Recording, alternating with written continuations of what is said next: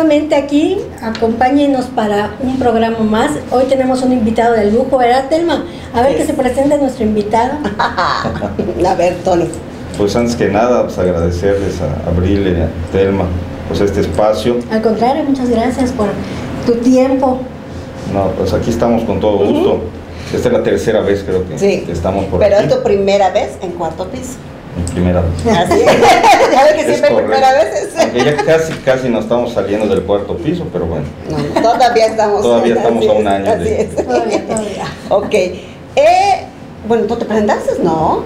Bueno, pues eh, vengo eh, como impulsor, como promotor de una metodología que es el orden, limpieza y la formación de valores en las familias.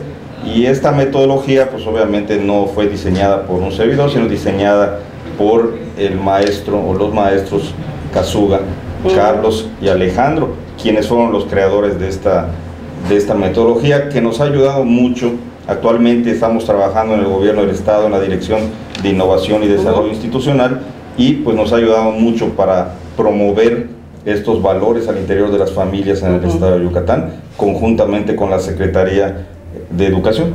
Ah, ok. Eh, así es, el secretario Víctor Caballero Durán. Ok, ahora, ¿en qué eh, consiste en...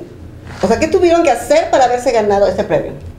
Ah, bueno, qué bueno que lo mencionas. Obtuvimos eh, en noviembre pasado el distintivo eh, de organización impulsora en, va en valores y este distintivo pues lo da la familia Kazuga, precisamente a las empresas de todo el país que se han distinguido por ser entidades que promueven los valores en las familias de sus, de sus colaboradores o en la sociedad. Y entonces pues sabemos obviamente que para las mujeres pues esto es algo fundamental y trascendental, el, el poder ayudarlas conjuntamente con sus familias a transformar su entorno en el Estado, en, en el medio, dentro de una sola familia. Y entonces todas estas organizaciones recibimos esta, este distintivo, también lo recibió la Secretaría de Educación y la Secretaría de Administración y Finanzas, de la cual formamos parte, y obviamente pues esto sí se considera un gran logro en, en este sentido. ¿no? Es bueno ver que tengan a la mujer en cuenta, ¿saben? Y todo el mundo reconoce y reconocemos que la mujer es un es, es fundamental, ¿no? Y aquí para, para fomentar los valores precisamente lo es más. Entonces, qué bueno que a la mujer la toman en cuenta y puedan hacer este tipo de, de eventos o de programas para que nosotras podamos difundir a, con todos nuestros hijos, nuestras amistades y con todas las demás personas estos valores. Ok, claro. ¿hay algún sistema que se va a manejar a partir de esto? ¿O cómo piensan dar a conocer esto, que si en verdad es importante, porque cuando tú me dijiste vamos a platicar de orden, limpieza y valores, dije no, son dos temas, y él me dijo no, es un solo tema, entonces, a ver. Bueno, Exactamente. es interesante, les, les explico un poco. Sí. Eh, el orden y limpieza pues son los valores esenciales para cualquier otra metodología que se uh -huh. pretende implementar. Entonces, si nosotros queremos comenzar por inculcar en nuestras familias, a nuestros hijos, valores, tenemos que utilizar a lo que se, se, llama la teoría de los vasos comunicantes. Es decir, no vamos a estar formando 10 valores a la vez o 5 valores a la vez, basta con enfocarnos en uno o dos y automáticamente los otros valores se están fomentando. Esto es como los mandamientos, ¿no?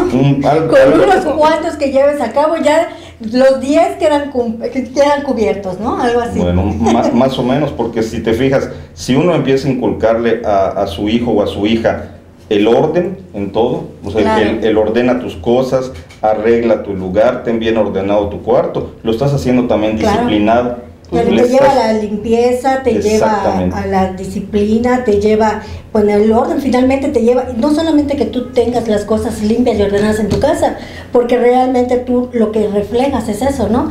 Todo viene desde adentro.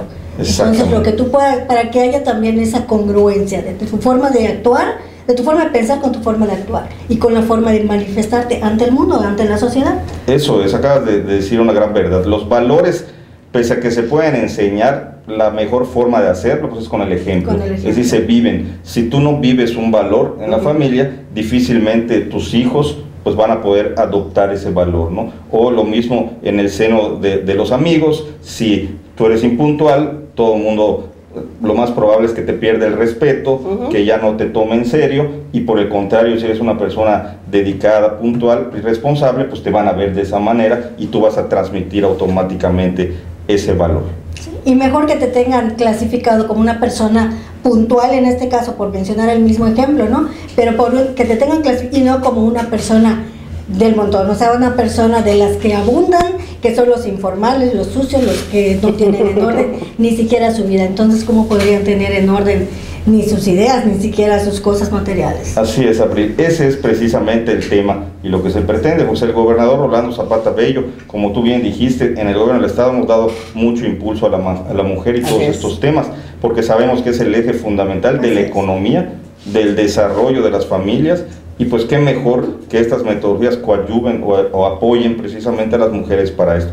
Porque si bien es cierto, de alguna manera nosotros este, intentamos hacerlo en las casas, en los hogares, o más bien la mujer es parte fundamental en esa enseñanza, en esa transmisión de los valores, pero a veces si tú mismo, como tú dices, no eres o no traes esos valores, ¿cómo le haces?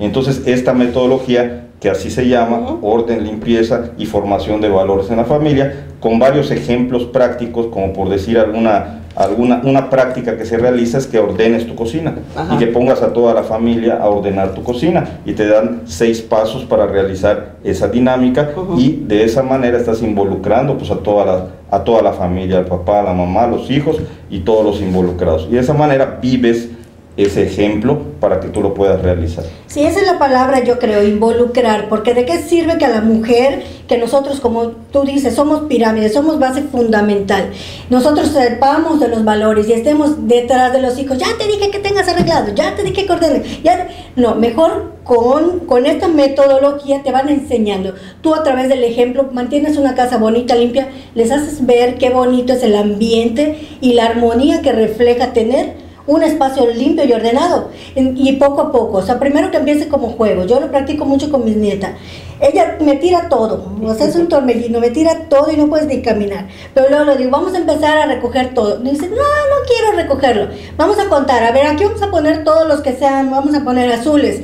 Y así, de esa forma ya empiezo a idear y ya le gusta ordenar, contarle contar, contarle ponerlo por color. Ella piensa que es parte del juego y y empieza a ordenar y empieza a recoger todos sus juguetes, ¿no? Por mencionar un ejemplo. Pero nosotros ya, por ejemplo, con hijos adolescentes, no porque sea adolescente, porque sea varón, él no va a lavar sus trastes. Todos, es parte de una cultura, además, que empieza por la familia y se expande en la sociedad. Entonces todos tienen que participar y todos tienen que aportar y todos tienen que ayudar, no solamente la mamá, y no porque sea para la mujer. La mujer es la, encargada de, vamos a suponer en este caso que es una escuelita, la mujer va a ser la maestra, es la encargada de llevar a cabo esta enseñanza, pero todos los alumnos y conjunto con la maestra vamos a poner todos de nuestra parte para que todo quede bonito y ordenado y nos podamos graduar todos en una armonía. Así es, Exactamente. en este caso, ¿cómo van a darse a conocer o dónde puede alguien interesado que está escuchando o que va a ver esto me interesa saber esas herramientas. ¿Cómo? ¿Cómo se va a manejar? Qué, bueno que tocas este punto, y lo que menciona Bri es muy importante. Este, actualmente hay una generación que actualmente tiene 4 o 5 años de niños que están precisamente en los preescolares, en los cuales ahí fue el primer paso. El secretario de Educación dijo, yo quiero que sea primero en preescolar.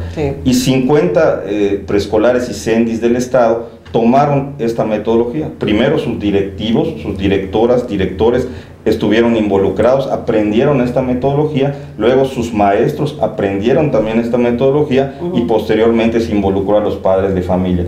O sea que si hoy hablamos de esta generación que actualmente tiene 4 y 5 años, esperamos que en un futuro, en 10, 12 años, estamos formando una nueva generación de yucatecos y de yucatecas que obviamente pues van a salir con otra forma de pensar y niños que van a crecer como antes este, nosotros decíamos, ¿no? bien formados, bien educados, bien disciplinados.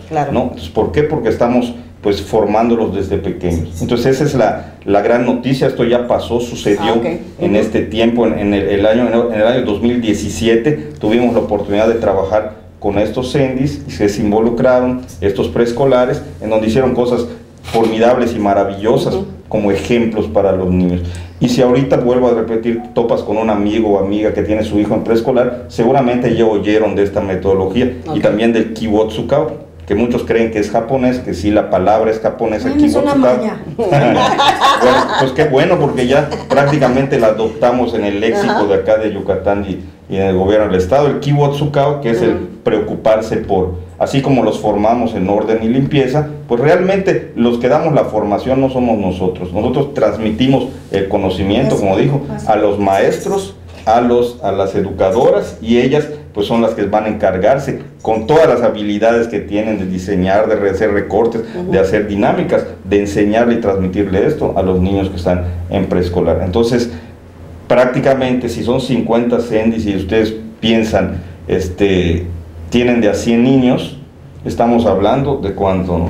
De prácticamente 5 mil niños. Y si nosotros lo llevamos a, la- a las casas, mamá, papá, hijo, estamos hablando de 15 mil por, por, este, Ujú. personas Sí. que ya están hablando de estos léxicos del Kibotsucao, del orden y limpieza y la disciplina. Y por lo tanto eso augura un muy buen futuro bueno. para nuestros hijos en, en Yucatán principalmente. Qué bueno, es es lo bueno de que este, tenemos un gobierno que se interesa eh, eh, no solo en el presente, sino también está viendo hacia el futuro y, y- y- y que estemos todos bien, ¿no? No sé si tienes algo más que informarnos o decirnos o quieras informar a Pues los invito a conocer esta metodología. Como bien dijiste, este, cualquier este, persona puede acercarse con un servidor, Antonio Aranda, vuelvo a repetir, estoy a su disposición, este, que quieran conocer la metodología o seguramente muchos de los que nos van a ver este, Sí. en YouTube, Sí. pues ahí ya Facebook. habrán oído de esta metodología, ya habrán oído del Kibotsukao, del orden y la limpieza, y pues realmente en los preescolares de Yucatán esto se está dando, pero cualquier otra persona interesada puede acudir a las oficinas de la Dirección de Innovación y Desarrollo Si Institucional. alguien y ahí googlea esto, ¿está la información en Es internet correcto. ya? Es correcto, es muy importante esto porque los maestros Carlos Casuga y Alejandro Casuga tienen sin fin de videos en los cuales hablan de esto, de cómo formar valores, de cómo formar mejores personas, mejores mexicanos. Ujú. Y en YouTube hay un, un sinfín de, de sus videos, más los nuestros también que, que ya subimos, más los de cuarto piso que también ya Así empiezan a hablar de gracias. este, de este tema. ¿no? Ok. Perfecto. Sí, pues nada más nos queda agradecerte enormemente y, y a ver si vienes para la próxima y hablar otro temita así para, para toda la familia, para los amigos o solteros o divorciados. Un programa enfocado a mujeres y no, en verdad es en todo porque yo me acuerdo que Tony me llamó la atención hace como tres semanas que me dice, ¿qué pasó? Tus programas y no sé qué. ¿Dónde está Telma? Ah, sí. ¿Dónde está Así es. Telma y Abril? Entonces, no, yo también le llamo la atención. Sí. Ah, Me bueno. mucho sacar los programas. Los admiradores están pidiendo programas. Es correcto, ¿no? Ya tienen un buen número de, de seguidores y de Sí, muchísimas gracias. gracias. Sí. Así que no es solo un programa para mujeres, ¿sabes? Para, enfocados a todos.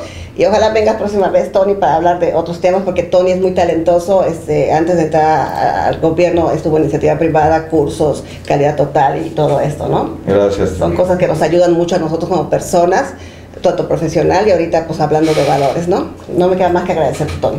No, pues sí, yo igual agradecerles y realmente resaltar lo, Ujú. con lo que comenzamos. La mujer es un pilar fundamental de las familias en Yucatán y pues hay que trabajar, hay que darles oportunidades y qué bueno que se están abriendo espacios como su programa para hablar precisamente de las mujeres. Felicidades. Muchísimas gracias. Bueno, nos despedimos. Bye.